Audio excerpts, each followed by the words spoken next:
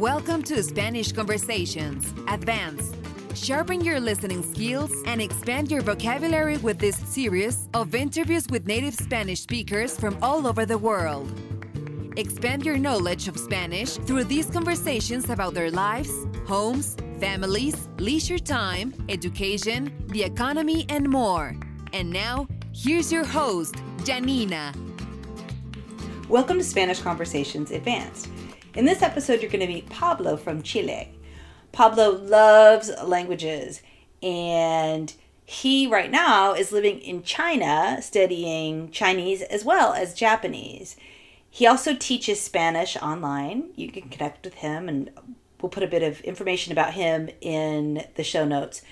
Uh, he's a super interesting guy. He's going to tell you all about his home country, all about the economy and how people live in Chile, how they shop. He's going to tell you about some great dishes and holidays. So stay tuned to learn some Chilean Spanish. Hola, ¿nos puedes decir un poquito sobre tu vida, Pablo? Eh, bueno, yo estudié, eh, estudié en la universidad en Chile, se llama Universidad de Santiago de Chile.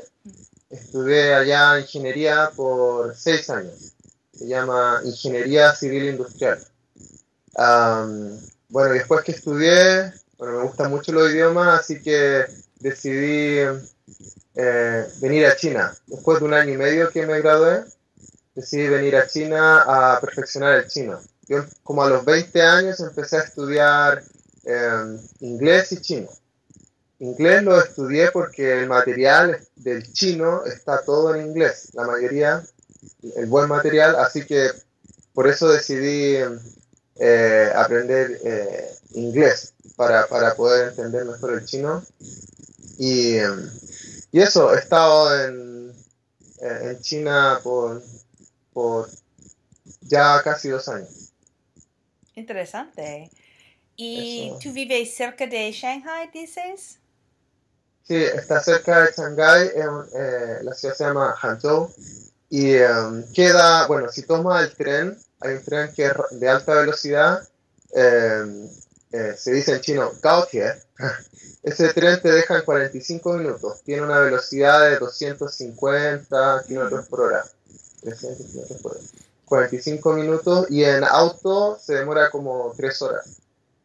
La, es la distancia de Shanghái a esta ciudad. Interesante. bueno, entonces tú estás muy lejos de casa y puedes decirnos un poquito sobre quizás tu familia o en general la cultura de la familia en, Chile. Ah, bueno, en Chile, eh, bueno, la gente eh, es cercana, eh, es bastante cercana a la, a la familia e incluso hasta hasta más grande. La gente, eh, eh, se suele, es, frecuente que la gente va a visitar a sus padres los fines de semana. Eso es algo que no he compartido con otra gente de, otros países, de, Europa, de, acá de Asia. Em, no sé si sea tanto como en, Chile. Eh, y bueno, se van a ver a, los padres y se, se, hace también mucho em, digamos, mantiene el contacto. Hay gente que siempre llama a sus padres por teléfono. Yo, por ejemplo, llamo a mi mamá, a mi papá, a mi hermana todos los días. Ah. Hablamos como una hora. Todos los días. Y, y, no es solo yo que lo hago, sino que hay mucha gente que lo hace también. Eh, en la familia, en Chile, es como una especie de amigo. La, la gente, los padres con los hijos, eh, es como amistad. Mm hay mucha gente que considera a su, a su papá o a su mamá como un amigo más. En cambio, creo, no sé si en otros países será tan así. Mm. Eso es como algo ah, eh, diferente que he notado. Y lo otro que, eh, bueno, la, la, gente es bastante cercana, a veces también con, con familia que no es directa también hay mucho de juntarse en familia los fines de semana y con familiares que son tíos, primos. O sea, no es solo, solo la, digamos, la familia, el núcleo central, sino que también se integran muchos familiares. Interesante. Eso es común en, y bueno, no importa a veces eh, el lugar. Por ejemplo, acá en China, si la casa es muy pequeña o no hay muchos recursos, la gente no, trata de no, de no, de no invitar a mucha gente, los chinos tratan de no, de no mostrar tanto que quizás no tienen mucho para invitar a tanta gente, pero en Chile siempre se invita a la casa no se hacen las cosas afuera, se invita a la casa y no importa, no importa, hay gente que tiene muy poco dinero, pero invita a mucha gente. Mm. Y, eso lo hacen la mayoría de las personas, no, es raro que alguien no, no, invite a, a, su casa. Interesante. Um, jóvenes, los jóvenes chilenos suelen vivir con sus padres hasta que se casen, ¿es verdad? Sí, Sí, bueno, eh, la verdad es que eso tiene dos motivos. Yo lo que considero es que tiene dos motivos. El primero que eh, Chile es un país bastante caro para ser de Latinoamérica.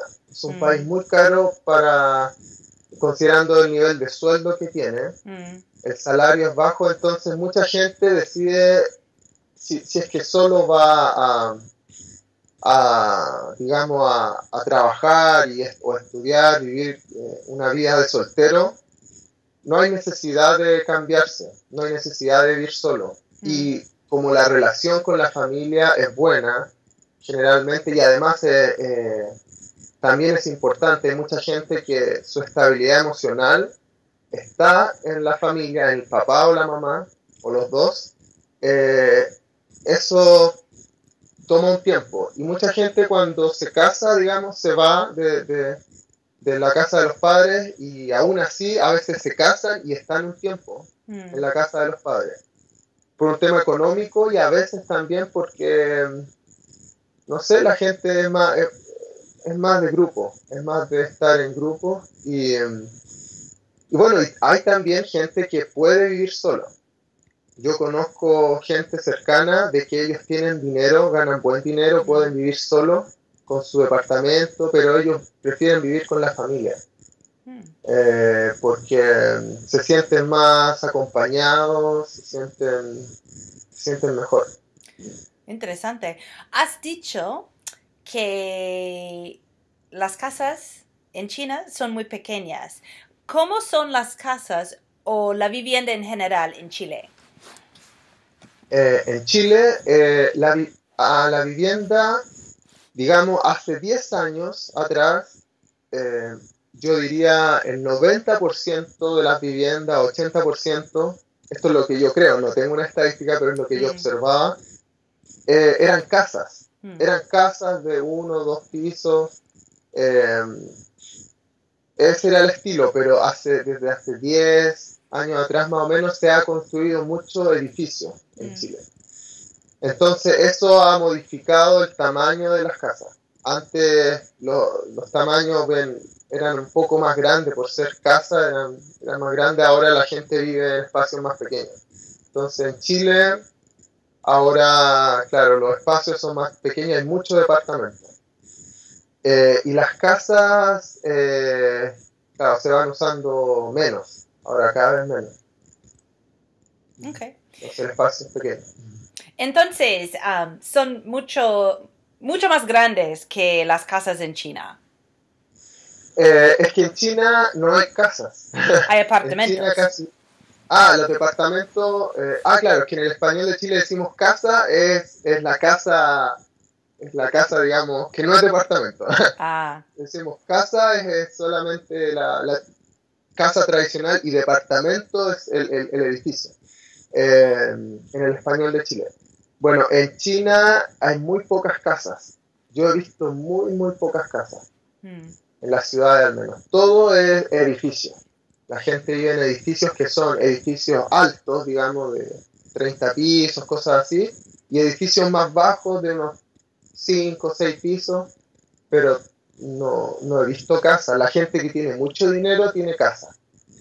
En Chile se usa mucho más tener casas, pero que son casas que no son, digamos, eh, como muy bien fabricadas. Son casas a veces que son más improvisadas, que se Ah. hacen de manera más sencilla, y, pero el espacio es más grande. La construcción no es, no es, eh, no es tan buena, tampoco.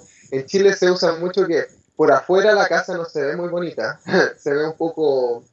eh, un poco desarreglada, como no muy arreglada por fuera, pero por dentro eh, tienen, tienen muchas cosas, está bastante bien. Eh, yo estoy hablando como de un promedio, digamos, no, porque en Chile, bueno, tú sabes, hay partes que son que están muy bien económicamente y otras partes que son más eh, que no, no, hay tanto dinero. Pero en general las casas, eh, eh, digamos, yo creo que en Chile hay mucho, hay mucha preocupación. O sea, no he visto casas así que como en Latinoamérica, que uno ve la casa y está como bastante como, como muy vieja o como que la como que da mala impresión. Las construcciones son generalmente bien, pero en, en- en Chile también. Hay muchos barrios en que las casas no están muy bien cuidadas por fuera. Mm, Ok. Um, a ver. Celebraciones y días festivos en Chile. Ah, bueno, eh, celebración, eh, bueno, empezando por, eh, en- eh, bueno, te- están las, las fiestas patrias. Nosotros celebramos eh, las fiestas pa- eh, patrias en- el 18 de septiembre, que es como, es como el Día Nacional, Mm. donde eh, recordamos al país. eh, bueno, no toda la gente sabe de historia, pero de todas formas se celebra como que el, de la, el- la historia del país, desde que empezó y eh, la independencia de, de España. Porque la gente no piensa mucho en la independencia con España, es como solamente piensa en Chile, que Mm. somos país. Se- entonces en esas fiestas generalmente la, eh, duran, duran tres días, pero se, se juntan con los fines de semana, entonces a veces duran cinco. eh, y la gente, bueno, celebra y se usa mucho tomar, eh, tomar alcohol, eh, vino, cerveza y se usa también eh, eh, comer. Se come mucha carne, se come también eh, comida tradicional, por ejemplo, la empanada. y, eso. Y bueno, esas serían las fiestas patrias. Bueno, también se celebra la Navidad. El año, y el año nuevo. La Navidad es solamente un día, digamos, con tiempo previo año nuevo, y, y el año nuevo que es solamente un día. Eh, ah, y, y también se celebra, eh, ¿cómo se llama esto? Eh, en Chile se le dice Semana Santa Mm. al, al, eh, al recuerdo de, la, de la muerte y resurrección de Jesús, Mm. se le dice la Semana Santa. Entonces ahí también hay, ah, hay gente que, que tiene celebraciones. eh, En una semana. La semana Eh, próxima será la no- Semana Santa, ¿verdad? Claro, claro, es un feriado, sabes que no recuerdo cuántos días, pero no es, no es una semana. Se le llama la Semana Santa porque por la tradición de la Iglesia Católica eh, eh, se recuerda desde que Jesús entró a Jerusalén hasta que hasta que murió y después resucitó.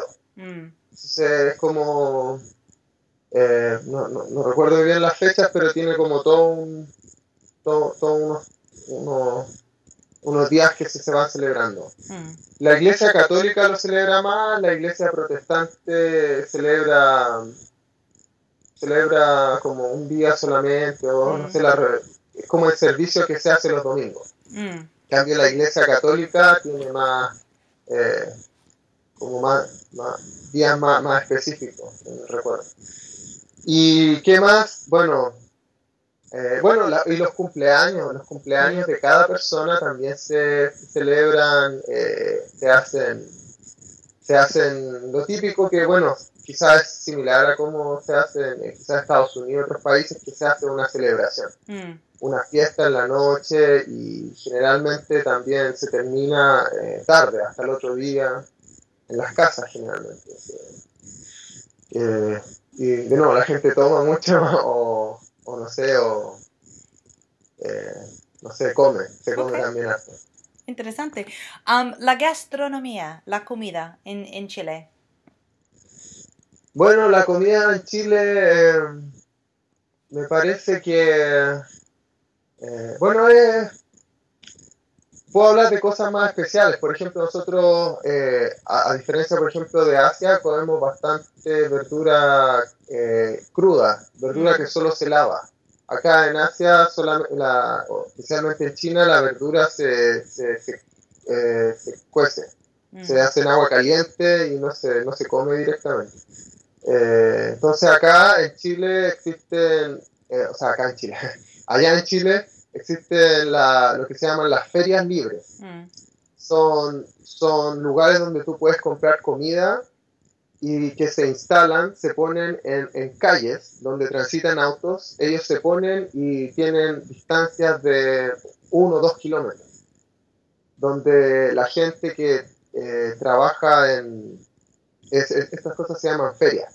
Mm. Eh, eh, la gente que trabaja, digamos, eh, en, la venta de productos y que también tiene quizá un campo, tiene cosas así, va y pone sus productos a la venta. Entonces hay centro de distribución en Santiago, por ejemplo, hay centro de distribución, la gente va en la mañana temprano, toma, compra los productos y los pone a la venta y eso es, mira, donde en mi casa que yo vivía en Santiago, habían cerca al, menos tres ferias, tres o cuatro ferias a la semana. Prácticamente día por medio uno podía ir a, comprar, eh, digamos, verdura, también se vende pescado, eh, comida fresca y tiene una extensión larga, es como... Entonces mucha, se, poca, se, eh, se compra poca cosa en los supermercados. La mayoría se compra en, de cosas así como verduras, se compra en la, en la feria. Mm. Entonces ahí, de, ahí la gente tiene, eh, digamos, la gastronomía está, eh, está influido por eso. La gente prepara ensaladas, se come mucha ensalada, no sé, lechuga, poroto, se come también mucha fruta.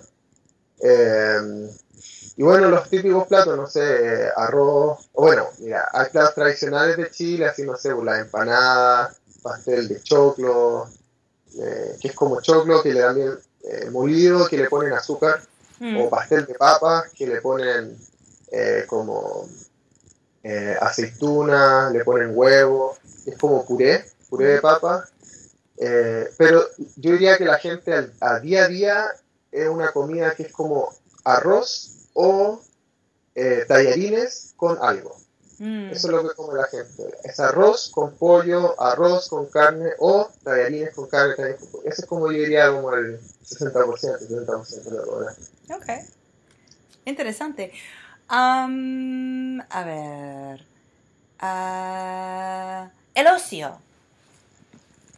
El ocio. Sí. Entonces, el tiempo, eh, bueno, ¿qué hacemos en el tiempo libre? Ah, mira, bueno, por hablar de, la, de las edades. Eh, por ejemplo, la gente más joven, la gente que sale de, eh, no sé, que sale del trabajo yo por lo que por lo que conozco la mayoría se dedica a bueno llegan a la casa y mucha gente ve televisión la, la, televisión es como bien importante llegan a la casa toman 11 se llama 11 que es como como una comida que es como a las 7 de la tarde cuando se llega a la casa y es como lo mismo que se come en el desayuno es pan con con un té o con huevo o con algo y la gente ve televisión, descansa un poco y hay mucha gente que, eh, eh, no sé, también está en el computador y ve muchos videos de internet, es como eso lo que se hace.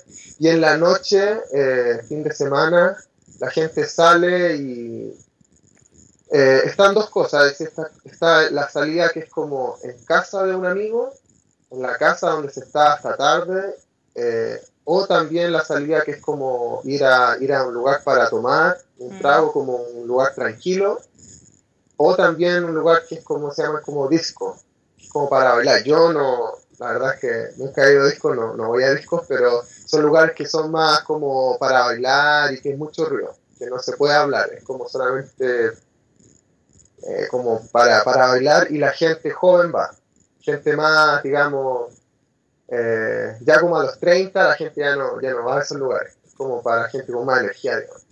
Y, um, eh, y bueno, hay, también eh, los hombres tienen mucho esto de jugar fútbol. Mm. Se juntan en, la, en las mañanas de, de, los fines de semana o en las tardes de los días de semana y juegan, digamos, partidos amistosos con el, no es una competencia, digamos, como para jugar solamente unas dos horas. Mucha gente que arrienda canchas para, para jugar. Y, eh, eh, y bueno, también hay una parte importante de la gente, yo diría que la mayoría de los jóvenes, los hombres, tienen, eh, eh tienen juegos de video. Mm. Es como, es parte de, o sea, es como eh, se junta la gente entre amigos, no es cuando una fiesta, sino amigos que vienen a la casa y juegan video, ven, ven una película. A las mujeres les gusta más ver las la series, mm. son como más de ver series, los hombres son más de jugar video. Mm.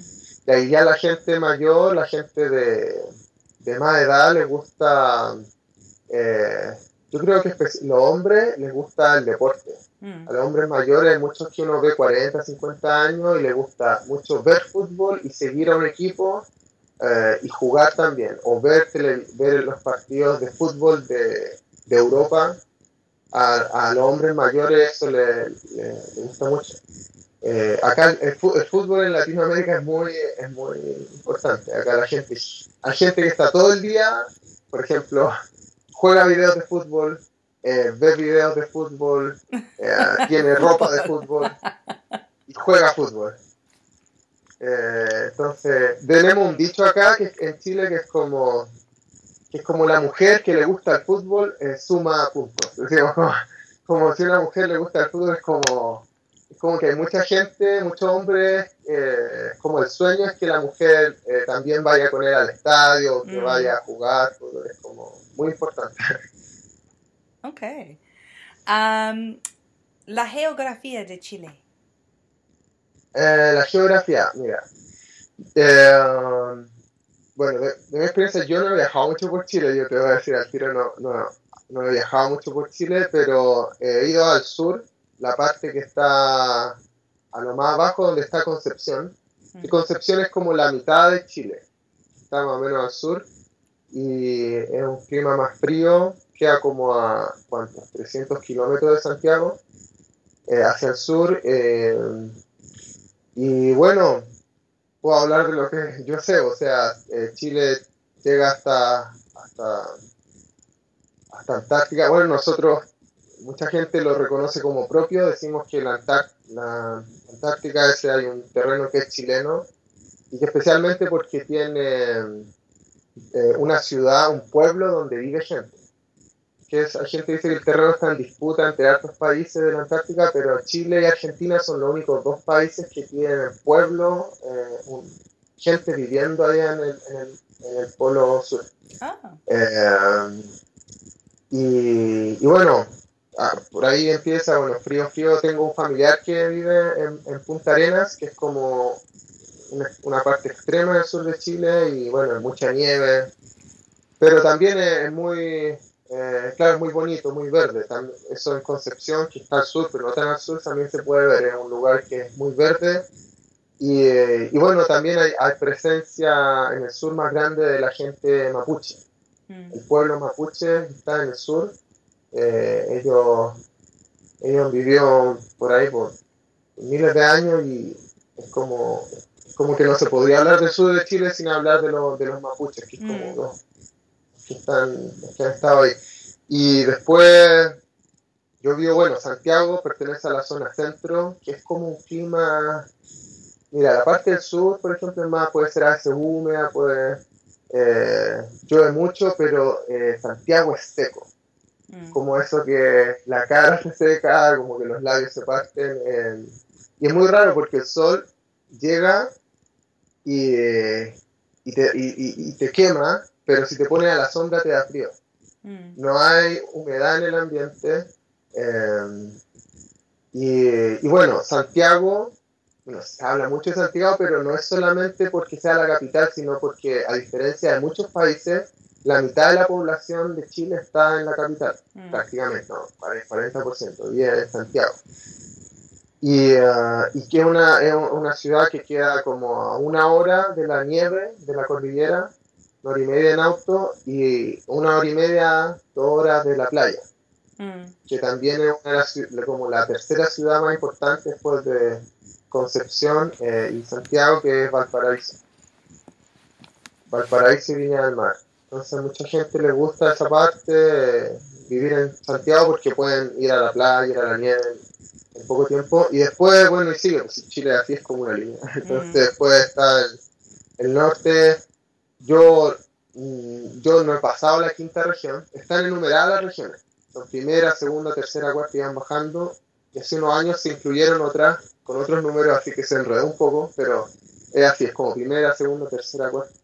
Y arriba, ya en el norte, eh, claro, otro clima y está, eh, lo que más se conoce en el norte, digamos, podría ser el, el, desierto de Atacama, que es el mm. desierto mario del mundo que no llueve, pero nunca, nunca llueve. Y, em, y también, bueno, y ahí también está la riqueza, digamos, de Chile. Chile, las exportaciones que hace, digamos, el 80% o 70% es, es, mineral, cobre, y, y, que está en el norte. Mm. Entonces ahí sale la riqueza, la riqueza de Chile, está ahí, está, norte y ahora también se quiere, está implementando proyectos porque de los eh, desiertos de Atacama es uno de los lugares con más radiación, eh, como que puede captar más energía solar. Entonces se quiere hacer una, como un, digamos, una planta de energía, eh, de energía solar allá en el norte y alimentar a, otras partes del país, sea otro proyecto. Y eso, sí que el norte también es importante para, para Chile. Okay. Eh, bueno, y está también, antes que se me vaya, la isla de Pascua, que eso yo tampoco, no he ido tampoco, pero es, eh, digamos, mira, es muy chiquitita, eh, pero es como que siempre se nombra. Es como que es una, porque es una parte de la Polinesia y... Mm. Es, chiquitita, pero se, es como para los chilenos como muy como es como importante, es como decir, estamos también en la Polinesia, algo así. Ah, ok. Um, el sistema educativo. Ah, el sistema educativo, eh, bueno, te voy a comentar un poco la, la diferencia que hay acá con China. Yo cuando iba al colegio, yo nunca hacía tareas, nunca. Yo no, yo no sé lo que es hacer tareas, porque en Chile, digamos, las personas que hacen tareas son las personas que tienen las mejores notas. Y generalmente son dos o tres. Mm. y las demás personas en las clases y fuera de las clases se trata de socializar, mm. se trata de hacer amigos, de jugar, pero no hay un concepto de, de estudiar. Mm. Por ejemplo, eh, es como la comparación que hago con Asia. En Asia el concepto de estudiar, eh, yo ahora estoy estudiando japonés en China, esa es mi carrera acá en China, y en, Japón, por ejemplo, se dice, eh, la palabra estudiar se dice obligación, mm. por así decirlo, o forzar. Mm. Eso es el sinónimo de estudiar, pero para Chile yo creo que estudiar en la realidad, en la, en la enseñanza básica y media, es como, es simplemente ir a las clases y entender, quizás, si un profesor cree que los alumnos captaron un 5%, va a estar muy feliz. Mm. Porque la mayoría eh, no, no absorbe nada de las clases. Eh, y además las horas son muy largas. Eh, la enseñanza antes en Chile, en la secundaria, en la media, era mitad de día. Se iba de las 8 de la mañana, de las 9, hasta la 1 de la tarde. Y después la gente tenía tiempo en día. Ahora, hace, hace unos años atrás, 20 años, se extendió hasta las 5 de la tarde, de lunes a viernes. Entonces la gente eh, tiene como una presión, digamos, tiene como, como que ninguna persona se va, va, a poner mucho empeño en estudiar a las 3 de la tarde, mm. si es un joven, como está cansado. Y mucha de esa gente no quiere tampoco ir a la universidad, mucha gente no quiere, simplemente quiere trabajar y acá no está, en Latinoamérica no, no está ese concepto de, o sea, bueno, en Chile no está ese concepto de que todos quieren ir a la universidad o que todos, hay mucha gente que no, no, no piensa en eso. Ahora, no es algo que yo, que, que, se, que se vea o que yo piense que esté bien, porque no, pero allá la gente tiene mucho otro, tiene otro interés. En cambio, por ejemplo, en Asia es, mucho, es muy enfocado. Hay, gente, hay jóvenes que estudian acá de las 8 de la mañana, 7 de la mañana, empiezan a recitar hasta las 11 de la noche, mm. todos los días. Y viven en escuelas que son como con horario, con timbre, tienen media hora para jugar y después seguir recitando, mm. estudiando. Eh, yo diría que el, sistema educacional en Chile eh, no está enfocado en eh, en, la, como en la preparación, digamos, en, el conocimiento eh, como científico, sino que es más socializar. Mm. Y además es una estrategia que se implementó, yo creo, para que los jóvenes no estén afuera del colegio, porque hay mucha gente que a los 14 años, después de la una de la tarde, tiene todo el tiempo libre y los papás no están en la casa, entonces ellos van y, por ejemplo, usan mucho droga o, hacen cosas que, bueno, en el colegio también usan drogas, pero a veces, pero eh, quizás pueden, pueden, pueden tener poco control. Entonces el sistema educacional, bueno, en la media sí, bueno, y pasando a la universidad cambia completamente. Y esa es la comparación que yo hago con, con acá. Acá la universidad eh, te preguntan lo que te enseñan en Chile, la universidad que yo fui, Universidad de Santiago, es imposible que te pregunten lo que te enseñan. Siempre te van a preguntar algo más difícil, algo que nadie, ninguna persona sabe. Mm. Entonces, por lo menos ingeniería, yo puedo hablar de lo que es ingeniería, es como si tú te esfuerzas y si estudias mucho la clase y además libros y además ejercicios, puedes tener de 1 a 100, puedes tener como un 60. Pero para tener ya todo completo necesitas como, eh, es como ser inteligente. Es como otro enfoque. Eh, el enfoque, por ejemplo, en China eh, es ser estudioso, es ser alguien que tiene buena memoria, que aprende. El enfoque en Chile es tener talento. Mm. Si tú no tienes talento, por ejemplo, para la ingeniería, es difícil tener buenas notas. Mm. Entonces, el sistema educacional en Chile eh, también eh, eh, el profesor es muy importante y es una, es una, una figura que tiene, una persona que tiene poder. Entonces los alumnos son como, digamos, tienen, yo creo que muchos le tienen como miedo al profesor de universidad porque él se enoja, un profesor se enoja y puede hacer una prueba que nadie, ninguna persona pruebe. Mm. puede hacer una prueba muy difícil. Eh, y eso es común, eso se da y tiene una, un nivel como alto de poder, pero en China eh, eso, eso no es así, eso es mucho más como, es más fácil que el colegio Mucho, mucha gente dice, no, la, eh, esto es más fácil que el, que, el colegio, que la enseñanza media, pero para nosotros la universidad es un salto pero impresionante. Es como este es el colegio nivel y después la universidad es hay mucha gente que nos sigue. Hay mucha gente que deja la universidad y que no... ¿En Chile? Eh, sí, y que prefiere trabajar. Mm. Eh, sobre todo la universidad que es estatal, porque las universidades que son de estatales mm. eh, son universidades que, que no dependen económicamente de los alumnos. Entonces ellos dicen, si, si, si te va mal en la prueba, te va mal y no puedes estudiar en esta universidad y ese no me importa. Pero en las universidades privadas es más como un negocio. Yo no puedo hacer que, que repruebe tanta gente que le vaya mal porque yo también necesito alumnos para tener para que funcione el negocio. Mm. es con, eh, entonces es muy diferente. En la universidad estatal en Chile no importa nada. Yo he visto a gente que ha reprobado ramos por tres veces Después de tres veces que repruebas un ramo, te, expulsan de la universidad. Eres expulsado o sea, si eso pasa dos veces, si reprueba una asignatura dos veces o tres veces, eres expulsado y después no puedes entrar a una universidad estatal de nuevo. Hmm. Entonces, eh, es un sistema muy... Eh, es mucha la presión y lo que hace la gente es que hay mucha copia. Eh, copiar es como ver las preguntas, usar el celular, usar libros.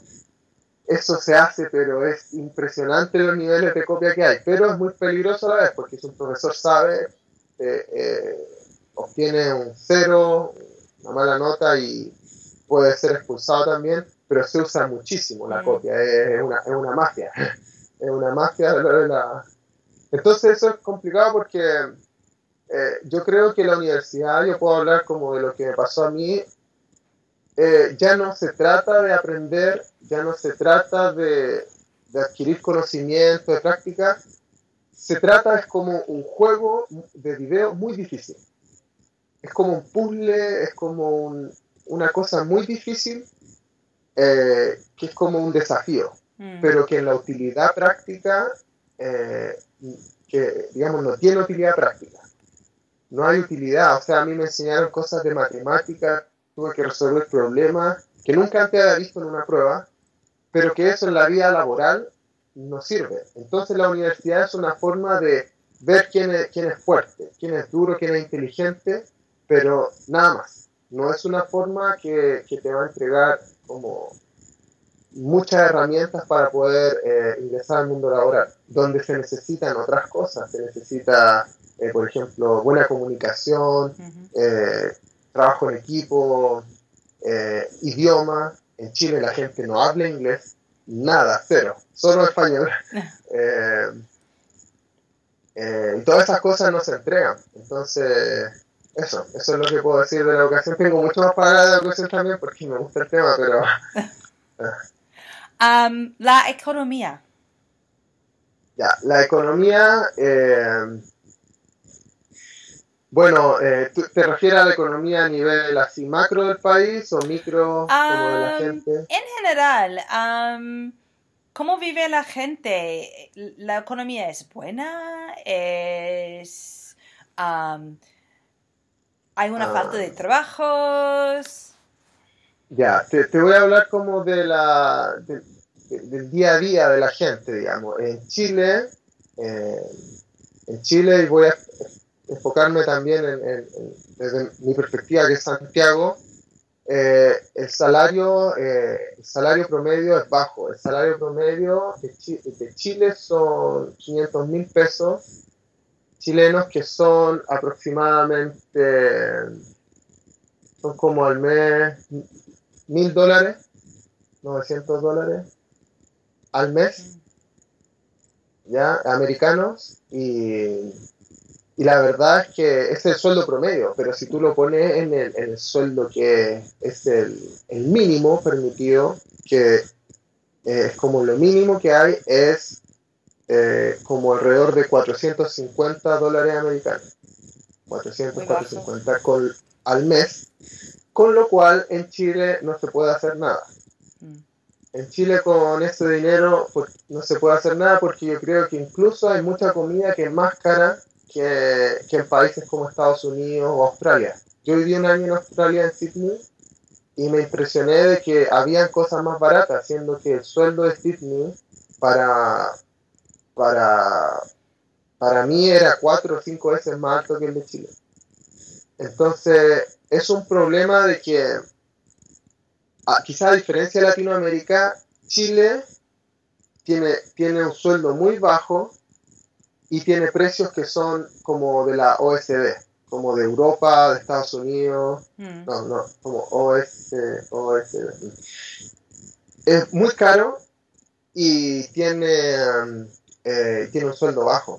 Entonces, por ejemplo, un arriendo eh, de, una, de, un, de, un, de una, una, un departamento son eh, dólares americanos serían como unos 500 dólares. A ver, no, no, 500 dólares, 600 dólares, puede ser. Y, y, eh, y, es mucho más que el sueldo mínimo. Entonces, mucha gente que tiene que ir con sus padres, tiene que, tiene que ahorrar, por ejemplo, trabajar en un McDonald's todos los días, eh, de lunes a viernes, 8 horas, son 44 horas a la semana más o menos, 40 horas son el sueldo mínimo, que mm. son esos, esos 500 dólares que yo te decía, 500, 4, 450.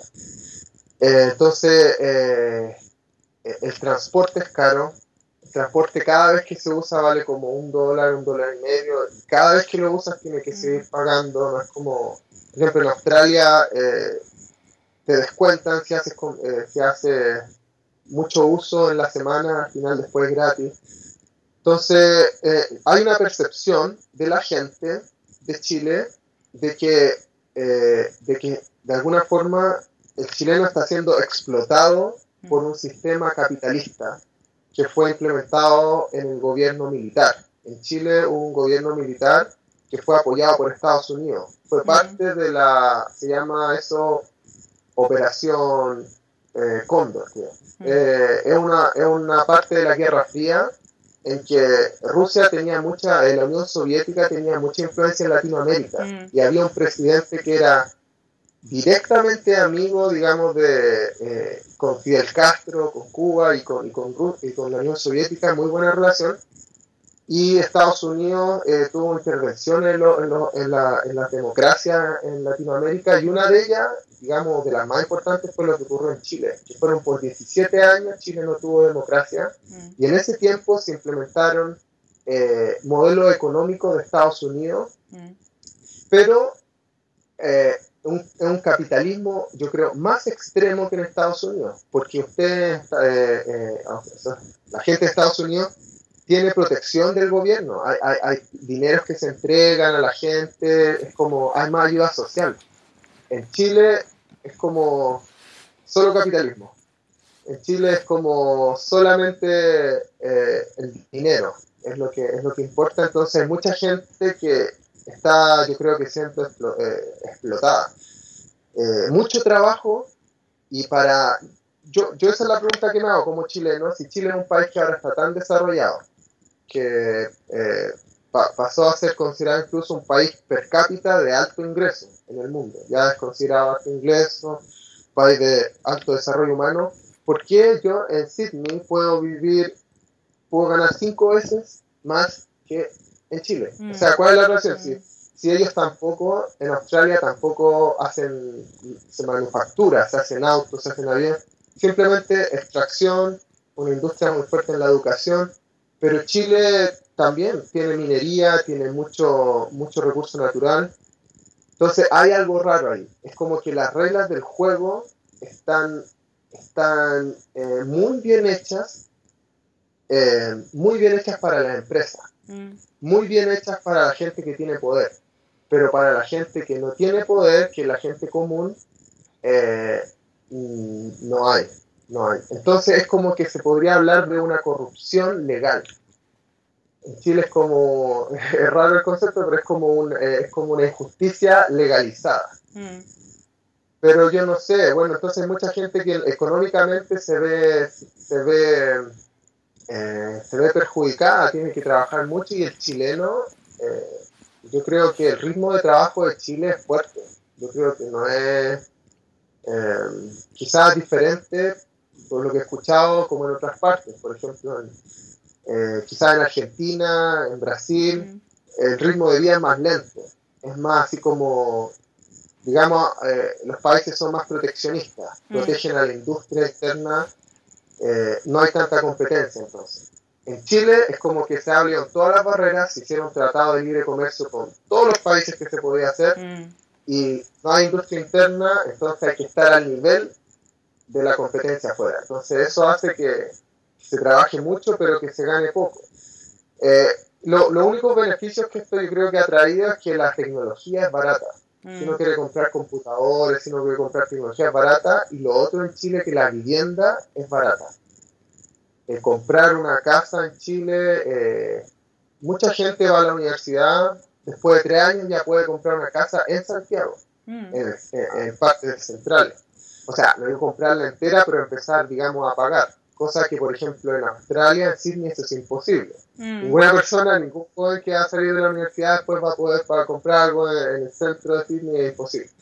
Quizás por ese lado de la vivienda nos vemos mejor y, y a nivel macro, Chile es un país que eh, yo creo que va bien, porque eh, tiene un, esta misma base que yo te digo, que es una base capitalista, digamos, de cómo manejar la economía, ha hecho que Chile tenga buenas relaciones, digamos, con otros países. Tiene muy buenas relaciones con países en Asia del Pacífico, con Mm. Singapur, con China, con Indonesia, Tailandia, y también con América y Europa. Entonces, hay mucha gente que quiere poner la base de control, digamos, la base de, de- de inversión en Chile Ujú. Para Latinoamérica, porque es un país que, eh, digamos, eh, es conveniente para la empresa. Yo creo que solamente falta el hecho de, de, que, de hacerlo un poco más justo, porque hay muchos chilenos que se esfuerzan mucho y se va a esforzar mucho, pero nunca va a lograr tener un- una riqueza que quizá en otro país la podría lograr Mm. con el mismo esfuerzo. Ok. Ese es el objetivo. Pablo, ha sido un placer hablar contigo. He aprendido muchísimo sobre tu país y tu vida.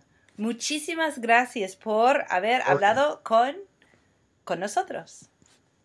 Ok, Hasta luego. Perfecto. Adiós. hasta luego. For more resources for learning and teaching languages and for more information about the accompanying course materials, visit reallifelanguage.com slash reallifelanguageblog. If you enjoyed this podcast, please be sure to leave a rating and review on iTunes.